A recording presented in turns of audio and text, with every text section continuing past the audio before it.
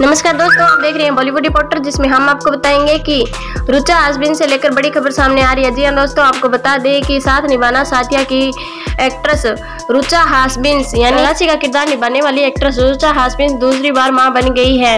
Actress ने एक बेटे को जन्म दिया है। रुचा के बेटे के जन्म के बाद उसकी प्यारी सी तस्वीरें सोशल मीडिया पर खूब वायरल हो रही है। हालाँकि मीडिया से बच्चे का चेहरा छुपाए रखा है लेकिन तस्वीरों में बेबी के नन्हे पैर नज़र आ रहे हैं। आपको बता दें कि इंस्टाग्राम पर नवजात बच्चे की फ़ोटो शेयर करते हुए रिचा ने लिखा है कि प्यारा सा कैप्शन में लिखा है रूही की क्लिक की ये फ़ोटो शानदार है और ये एक बेबी बॉय यानी मेरा बेटा है। बेटे के सामने रखे बोर्ड पर आप जादू हो लिखा है। आज सोशल मीडिया पर रुचा के लिए बधाइयों का तांता लग गया। उनके घर में खुशियाँ आ गई। धन्यवाद दोस्तों, अगर आप भी राशि के फ़ैन है तो कमेंट बॉक्स में ज़रूर बताएँ और उनके लिए कमेंट बॉक्स में कंग्रेचुलेसन ज़रूर लिखें। और अगर आप हमारे चैनल पर पहली बार आए हैं तो सब्सक्राइब करें। बेल आइकन दबाएँ जिससे कोई भी नई अपडेट अब तक पहुँच सके।